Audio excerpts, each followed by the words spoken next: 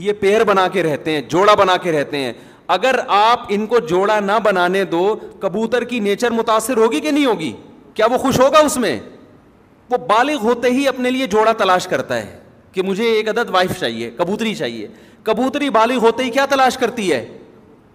दोनों का जब रिलेशन होता है तो ना कोई कबूतरी बीच में घुसती है और ना कोई, बोलो, कबूतर। ये नहीं घुस सकते।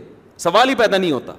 ये दोनों रहते हैं अंडे बच्चे बड़े करके, फिर अगर बेवा हो जाए कबूतरी, फिर वो कोई कबूतर तलाश करती है, या अगर वो रंडवी हो जाए रंडवा हो जाए शनाख्ती कार्ड में लिखा है रंडवा वहीं से हमने सीखा है, भाई हमारे कोई ऐसा कोई बाप दादा से कोई ऐसे अल्फाज हमें विरासत में नहीं मिले। शनाख्ती कार्ड में जब भी आप फॉर्म फिल करो ना तो पूछा जाता है, अगर आप खातून हैं तो बेमा हैं, अगर आदमी है तो रंडवा है कि नहीं है? तो मैंने पहले सोचा, यार, ये तो बहुत बड़ी गाली दे रहे हैं हम लोगों को।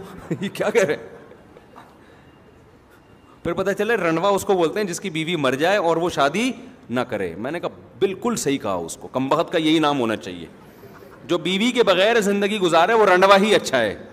मैंने कहा, ये नादरा वालों ने ज़िंदगी में एक काम बड़ा ख़ानदानी किया, उसको जो रंडवा का लकब दिया है ना। क्योंकि आप अगर बीवी मर गई और आप फिर भी बीवी के बगैर हैं तो ये इसके, आपके ख़ानदानी होने की दलील नहीं है। ये इसकी अलामत है कि आप वो ख़ानदानी आदमी नहीं हो। इल्ला ये कि एज ज़्यादा हो जाए तो एक अलग बात है। जवान आदमी बीवी के बगैर शरीफ भी हो, बीवी के बगैर भी रहे, थोड़ा किसी पे मैं इल्ज़ाम नहीं लगा रहा, लेकिन ये थोड़ा मुश्किल काम है। तो खैर